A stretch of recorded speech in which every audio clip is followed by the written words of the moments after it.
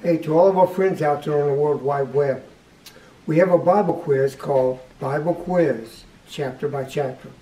You can get this Bible quiz chapter by chapter on the App Store or the Google Play Store. You can download it for free. It's a tremendous piece to memorizing the Bible. You ever read a chapter in the Bible and you have to get through read and you thought, well, what did I just read? Well, it's kind of like what the teacher says.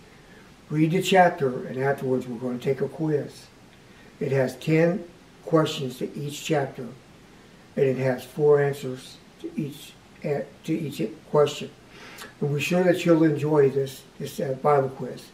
Now I've seen them Bible quizzes on the internet, and I've actually took a couple of them. And it says most people do not know the answers to these to the, to the Bible, and they only talk about the Bible. Most time they go to their religion. But this is really all about the Word of God. If you want, if you want to say, I wonder what God's saying, read His Word, and He'll speak to you. Many times I hear people say, I wish God would speak to me. And my reply is, do you read His Word? He will speak to you in it.